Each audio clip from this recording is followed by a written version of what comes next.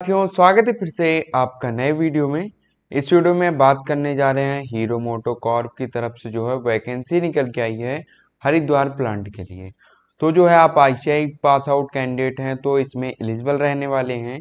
किस स्टेट के कैंडिडेट इसमें एलिजिबल रहेंगे, एज लिमिट क्या रहेगी और उसके बाद जो है सिलेक्शन का प्रोसेस क्या रहेगा तो जो है हम पूरा इस वीडियो में बताएँगे। तो वीडियो जो है आप पूरा अंत तक देखिएगा, तभी आपको सारी जानकारी पता चलती है। जैसे आपको पता है कि इस चैनल पे जो है I T related railway apprenticeship से रिलेटेड हम सारी जानकारी देते हैं तो आप जो है चैनल को सब्सक्राइब कर सकते हैं।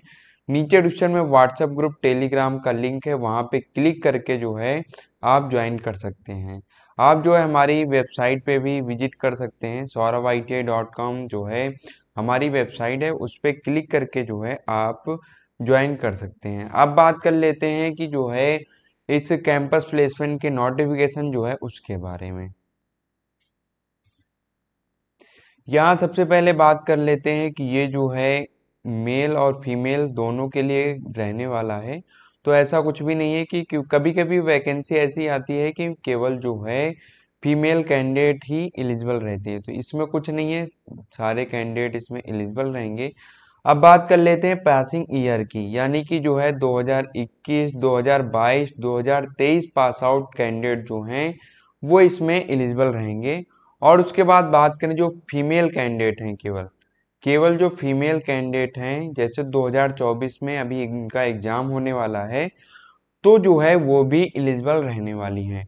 वो जैसे बात करें 2021, 2022, 2023 के पास आउट कैंडिडेट हैं तो उसमें जो है मेल और फीमेल दोनों एलिजिबल रहेंगे। लेकिन जो है 2024 में अभी जो एग्ज़ाम देंगी, वो जो है उसमें केवल बात करें तो फीमेल्स ही यानी कि एलिजिबल रहने वाली हैं। एलिजिबिलिटी की बात करें तो टेंथ प्लस आईटीआई आपने एन से कर रखी है या जो है एस से कर रखी है, आप एलिजिबल रहने वाले हैं। एज लिमिट की बात करें तो इसमें एज में 18 से लेकर 26 साल इसमें एज लिमिट रहेगी। तो जो कैंडिडेट आपकी एज बात करें तो 18 साल से लेकर 26 साल के बीच में है तो आप एलिजिबल रहेंगे।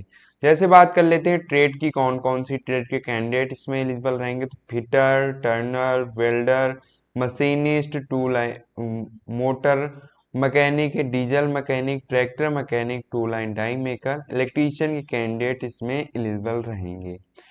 और बात करें कि सैलरी, इसमें आपकी सैलरी क्या रहेगी? तो मंथली सीटीसी की बात करें तो ये बाईस हज़ार तीन सौ अड़तालीस रुपये फ्रेशर कैंडिडेट के लिए रहने वाली है। इन हैंड सैलरी की बात करें तो पंद्रह हज़ार सात सौ तीन रुपये इन हैंड सैलरी आपको मिलेगी। Plus P F E S I other benefit भी आपको मिलेंगी। आपको जो है एक पेयर शूज़ मिलेंगे और टू पेयर जो है, पेयर आपको ड्रेस मिलेगी, यानी कि पैंट शर्ट भी मिलेंगे। ये जो है, कैंपस प्लेसमेंट कहाँ लगाया जा रहा है? ये कैंपस प्लेसमेंट जो है, गवर्नमेंट प्लेसमेंट लगाया जा रहा है।